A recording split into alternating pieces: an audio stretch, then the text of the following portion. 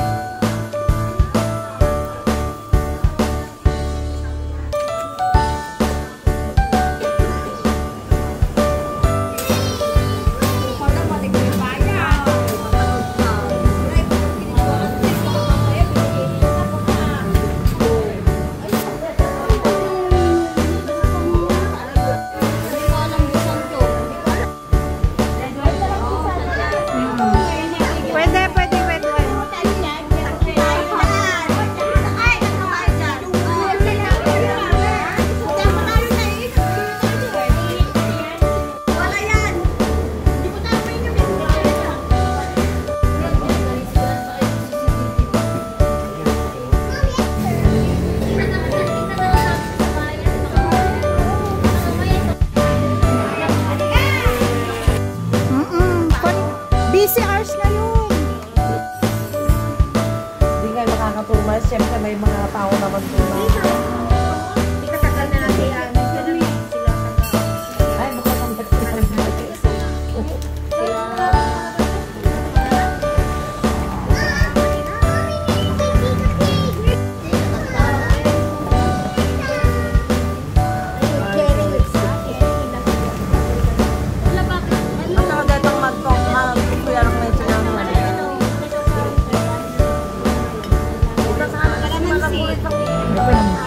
咕噜噜。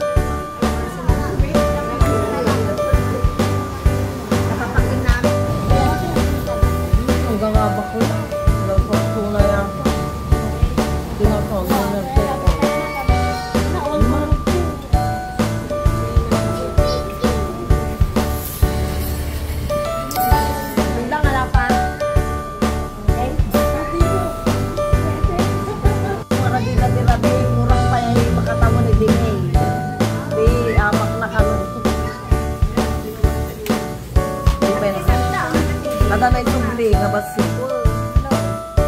Gasong tinitintinit.